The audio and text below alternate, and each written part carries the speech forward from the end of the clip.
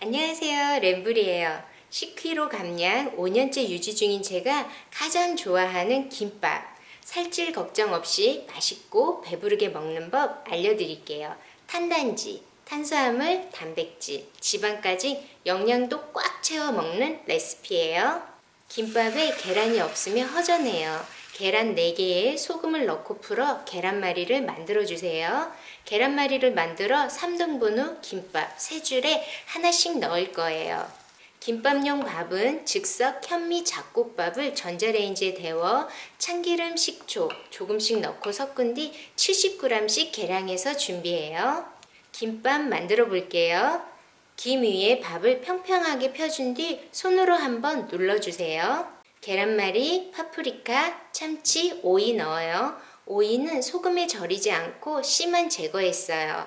단무지 대신 배추김치를 물에 씻어 꼭 짠 뒤 잘라 올려주세요. 쌈케일은 돌돌 말아 넣어줍니다.